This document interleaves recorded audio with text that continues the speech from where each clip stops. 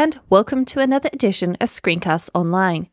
My name is Rosemary Orchard, and in today's tip, I'm going to show you some tricks you can use on iOS with Find My. These are aimed at the iPad and iPhone, but I'm going to be demoing them on the iPhone because that's where they make the most sense to use. While the Find My application itself is available on the Mac, I hope everyone is familiar with the Find My application. As well as letting you find a missing device, you can also use it to see where your family and friends are if they are sharing their location with you. For today, though, we're going to start in the Messages app. At the top of a Messages screen, well in a Messages thread, you have a profile image and the name of the person or group you're communicating with. If you tap on the name, this reveals a series of buttons.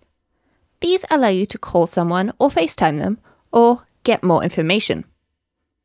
When we select information, we can see two options which integrate with Find My Send my current location and Share my location.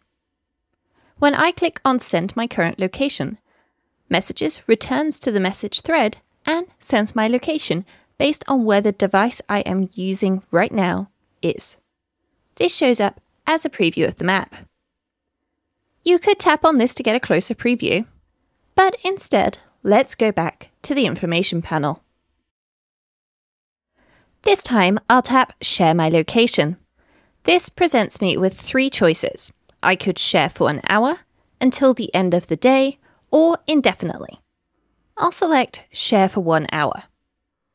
If you do this on a device which isn't the device that usually shares your location on iOS, you'll see a prompt and it will ask you if you want to change the device that you're using.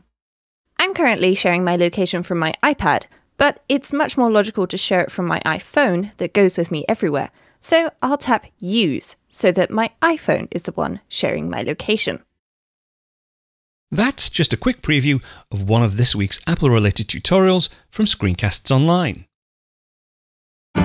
Screencasts Online is your premium source of Apple related video tutorials all of our members get access to brand new up to date tutorials each week, as well as unlimited access to our entire video archive full of Mac and iOS related tutorials.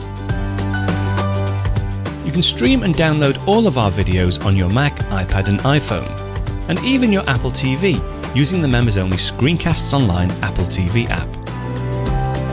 Membership also includes a complimentary subscription to the digital Screencasts Online monthly magazine published each month and packed with videos, articles, reviews, as well as hints and tips covering all aspects of the Mac, iPad, iPhone, and all of the other fantastic Apple products.